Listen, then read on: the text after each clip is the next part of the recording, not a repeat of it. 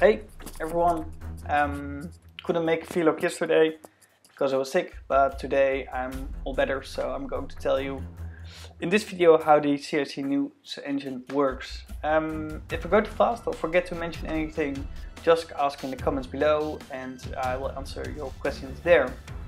So here's a screen with the basic view with uh, input, processing and output.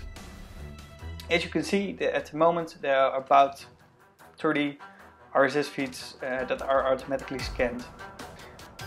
Besides the RSS feeds, there are, there's also a PHP web form um, for manually adding articles to the news engine. During processing of an article, the next couple of things will happen. There is going to be a language detection, um, there's going to be some tagging, finding locations, determining category in which an article belongs to and suggestions for geotags that aren't already in the system. The output uh, of all this goes to a newsletter, of course, an RSS feed. Um, I'm using Twitter feed to uh, distribute the articles uh, from the RSS feed to Twitter and Facebook. And all the articles are uh, stored in a MySQL database. So now let's have a better look at um, the system. The movie.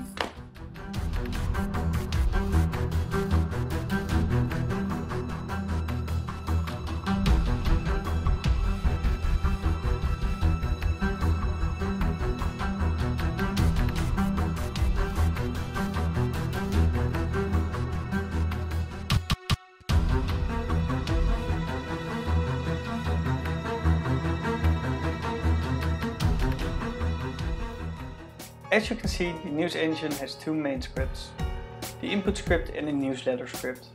Both run via cronjob. For those who don't know uh, what cron is, uh, cronjob is, um, cron is a, scheduler to, uh, in Unix um, to schedule tasks on a certain time or day, etc. The input script runs every 3 hours and the newsletter script runs at the end of the day. The input script has three tasks. The first one is to start the RSS input script and fetch new RSS entries. Second, it checks if there are manual entries added via the PHP web form.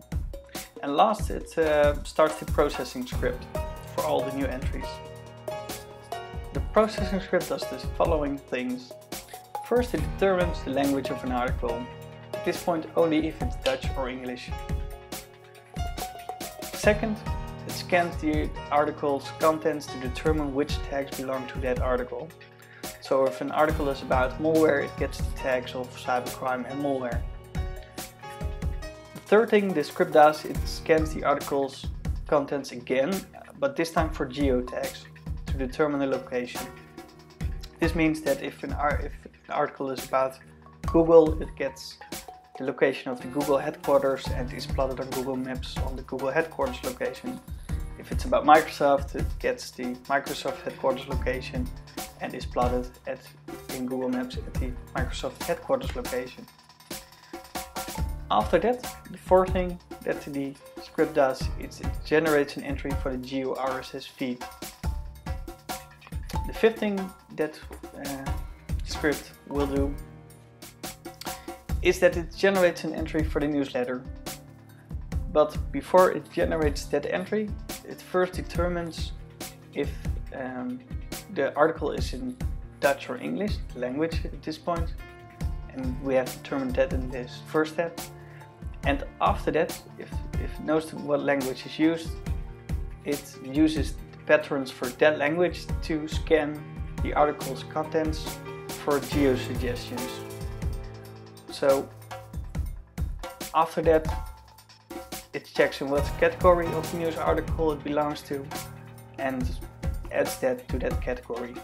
For example, if it's an English article, it gets added uh, to the English part of the newsletter and then the category, for example, cybercrime or data breach and identity theft. Depends on the content, of course.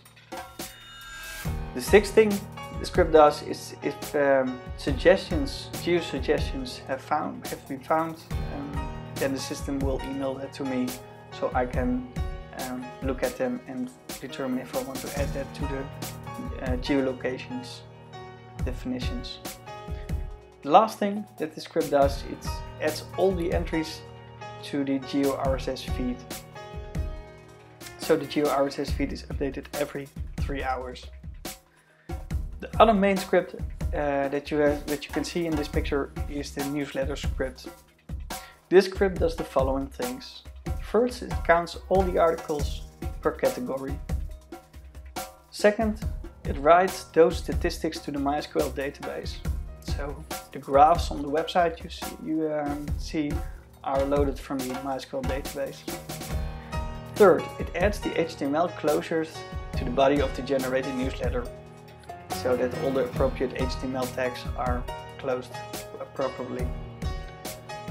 Fourth, it sends the generated newsletter to Mailman for distribution.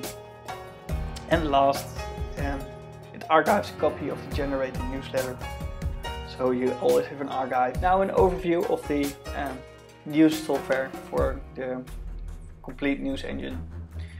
At the moment I'm using a Raspberry Pi um, to run all the new scripts. So Raspbian is used as an operating system, which is based on the operating system called Debian. The web server on the Pi runs Apache, PHP and MySQL and are all the latest versions available. For the new scripts I used the next couple of things. W3M, a text-based web browser and I'm using this to get uh, the articles via RSS, so the, all the articles content um, is retrieved by W3M. wget, this is used to get files via HTTP, FTP, etc.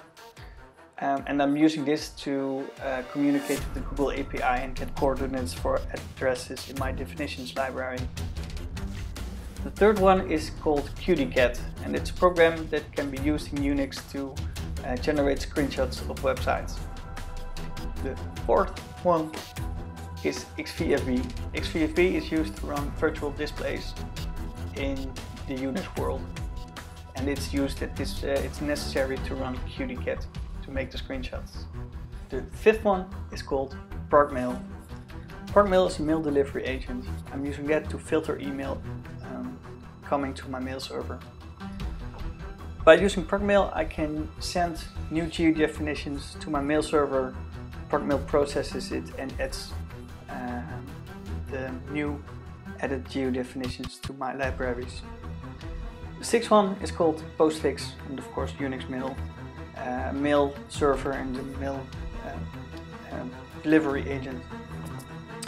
And last but not least, I'm using Mailman, or Mailman, do you want to call it, is used and it's used for distribution via mailing list of the newsletter. So people can subscribe, unsubscribe to newsletter and get it. Mailman is used to do that. So now you have a bit of an overview of how the current version of the news engine works. Again, if you have questions, leave them in the comments or ask on Twitter. I'm going to migrate the new scripts to the test environment. Um, so tomorrow I will make a video about how I installed the scripts. So that's it for today. Bye bye.